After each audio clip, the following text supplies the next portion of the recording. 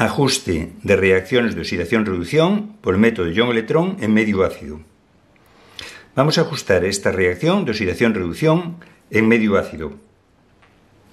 ¿Por qué necesitamos un método como el método de ion-electrón para ajustar las reacciones de oxidación-reducción? Necesitamos este método porque en las reacciones de oxidación-reducción también hay que ajustar las cargas. Tiene que haber igualdad de cargas en reactivos y productos.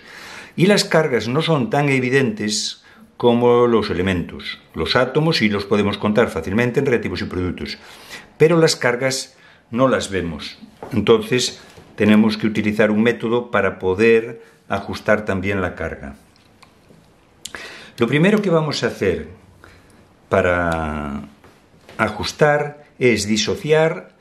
¿Y qué vamos a disociar? Las sales, los ácidos y las bases que tengamos en nuestra ecuación química. La primera sustancia que encontramos, el permanganato de potasio, pues separamos el metal del permanganato, el hidrógeno del cloro, el manganeso, el metal del no metal y el metal del no metal. Son dos sales. Vamos a poner la carga de estos iones que hemos disociado. Será más fácil empezar muchas veces por el metal. El potasio tiene un número de sección fijo, más uno. Se compensa con el menos uno del permanganato. El hidrógeno en los ácidos más uno, cloruro menos uno. Cloruro menos uno, tenemos dos. El manganeso será manganeso más dos cloruro menos 1, potasio más 1. ¿Qué nos queda? Nos queda nada más que el cloro, al ser un elemento, número de oxidación 0, y el manganeso del permanganato. En el permanganato tengo cuatro oxígenos, contribuyen con menos 8, número de oxidación del oxígeno es menos 2, 4 por menos 2 menos 8, pero para que nos sobre una carga negativa, el manganeso tendrá que ser 7. Entonces ya deducimos el manganeso tiene número de oxidación 7 en el permanganato. Ya tenemos todos los números de oxidación. Siempre va a haber un elemento que aumente el número de oxidación, un elemento que disminuya el número de oxidación. El manganeso pasa de 7 a 2. Disminuye el número de oxidación. Será la semirreacción de reducción. El cloruro pasa de menos 1 a 0. Aumenta el número de oxidación. Será la semirreacción de oxidación. Vamos a escribir las semirreacciones y además por el siguiente orden. Siempre la oxidación primero. El cloruro pasa a dicloro, será la oxidación, el permanganato pasa a manganeso 2, será la reducción. Luego os explico por qué.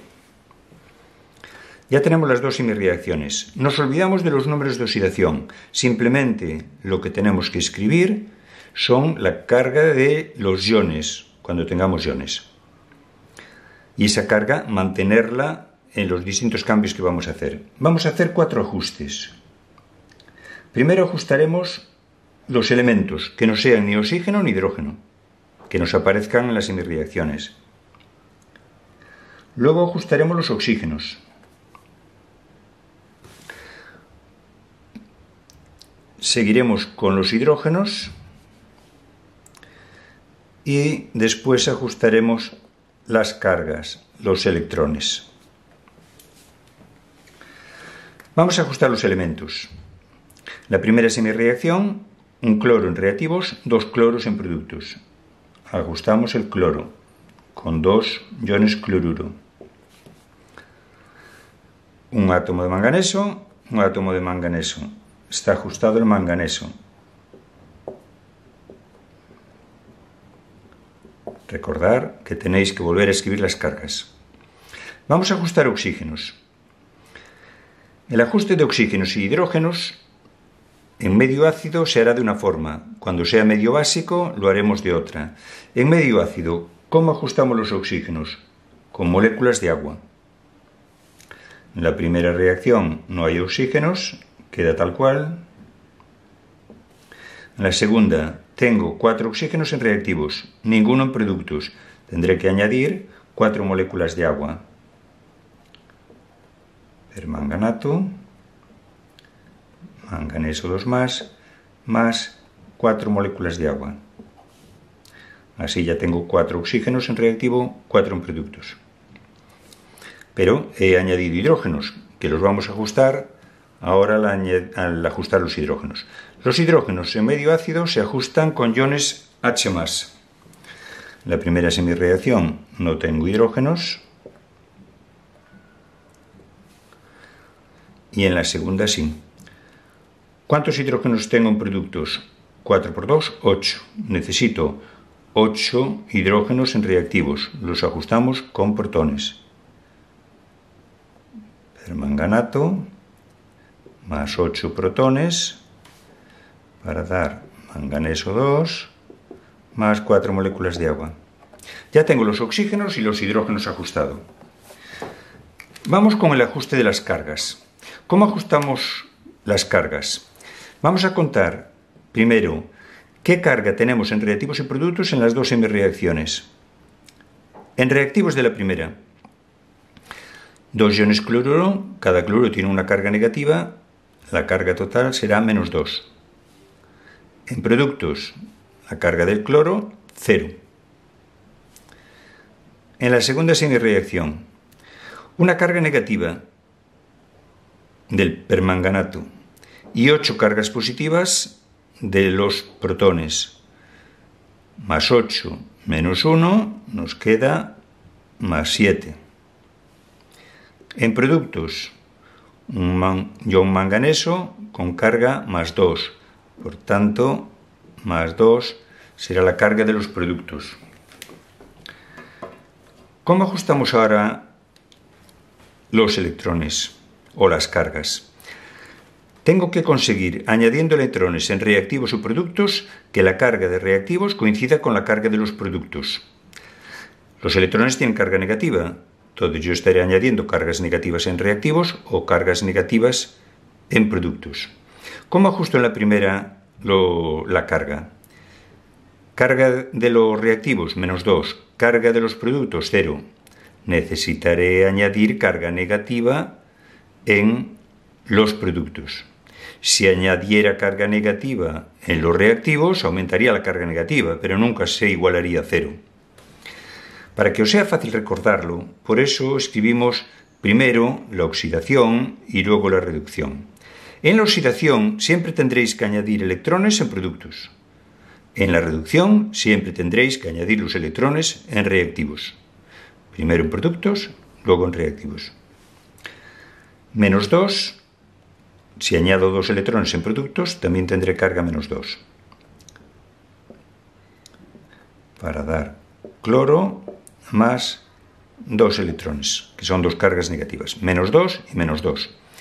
Fijaros que la carga hay que igualarla. No hay que conseguir que la carga sea cero en reactivos y productos.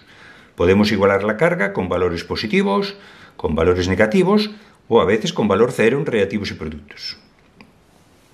En la segunda semireacción, carga de los reactivos más 7, carga de los productos más 2.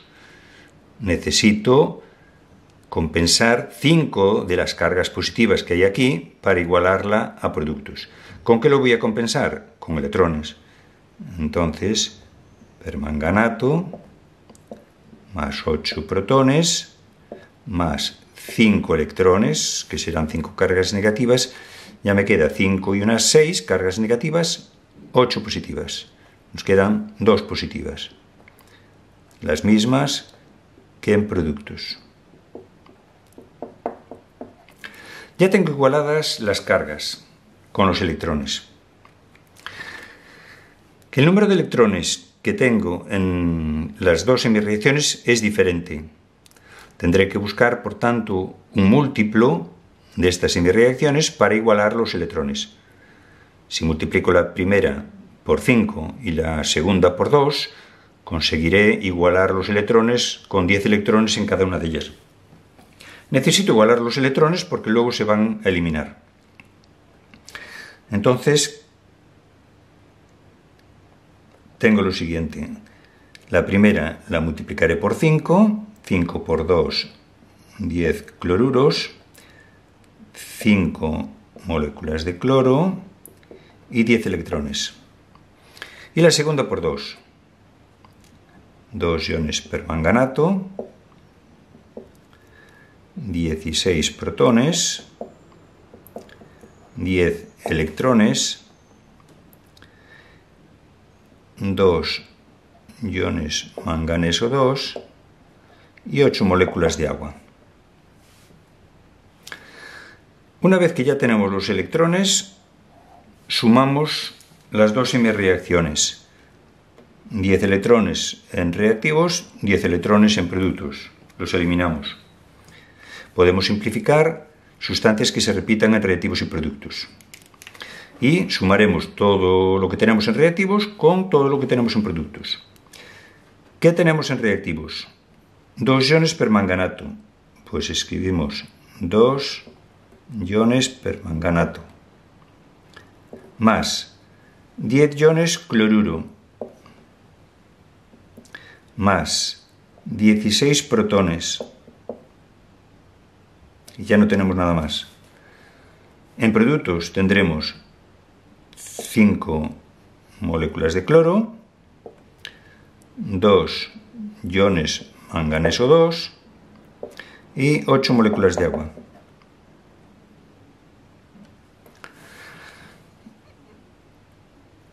Esta es la ecuación iónica. Ya la tenemos ajustada, nos serviría para hacer cálculos, pero como nos dieron la ecuación con las sustancias en forma de moléculas, nosotros tendremos que completar con los iones de acompañamiento que hay en esas moléculas. Entonces, el permanganato le faltan los potasios, que no los habíamos contabilizado para el ajuste. Tenemos que añadirlos ahora. Cada ion permanganato va con un ion potasio.